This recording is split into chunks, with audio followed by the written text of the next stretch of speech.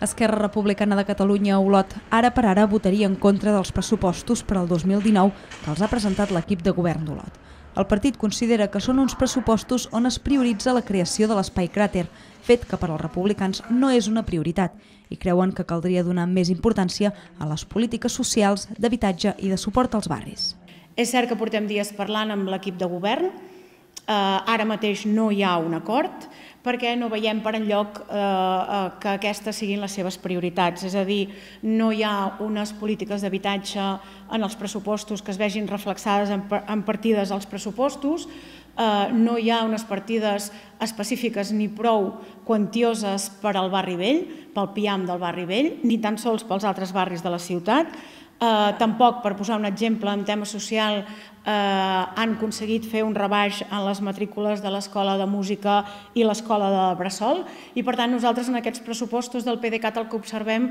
és que tenen una prioritat, una prioritat que és un projecte d'espai turístic que és l'espai cràter